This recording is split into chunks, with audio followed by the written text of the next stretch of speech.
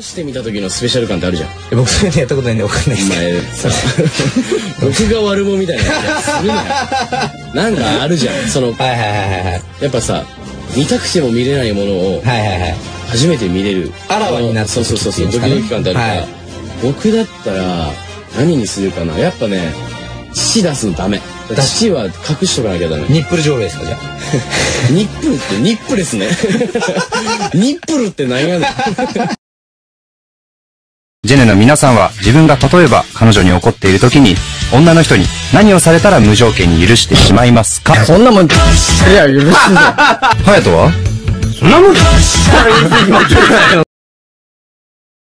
やっぱ、教える側になると怒るのって結構勇気いりますよね。はい。すごいなと思います、怒る人は。あざっす。そうですね要は責められる方が好きっていうことですねなんでやね要はん。なんでやねん。M やんゆうたくんってなんでやね言うやんん。なんでやねん。なんやねん。ちょっと大きい尻尾とかつけてるでしょだって家で尻尾ってなんやねん。気持ち悪い 次行こうぜ。